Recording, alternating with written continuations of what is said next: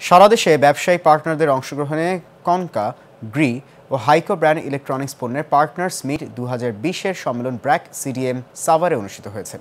সম্মেলনে কঙ্কার vitamin fresh প্রযুক্তি সমৃদ্ধ চারটি নতুন মডেলের রেফ্রিজারেটরের মোড়ক উন্মোচন করা হয়েছে।